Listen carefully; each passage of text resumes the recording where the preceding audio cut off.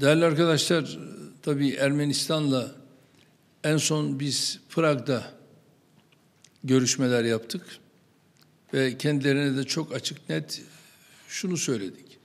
Yani siz Azerbaycan'la eğer ilişkileri olumlu istikamette yürütürseniz Türkiye olarak bizim de Ermenistan'la olan ilişkilerimiz olumlu istikamette yürüyecektir. Biz sizden bunu bekliyoruz.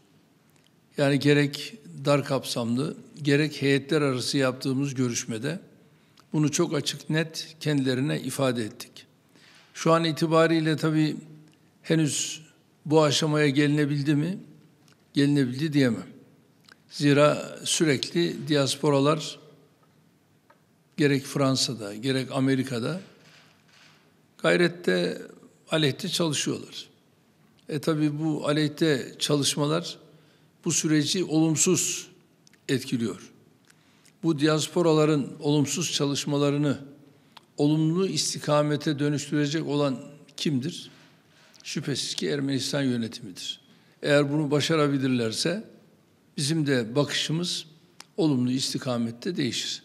Ve bu konuda bizler düşman üretmeye değil, dost kazanmaya gayret ediyoruz.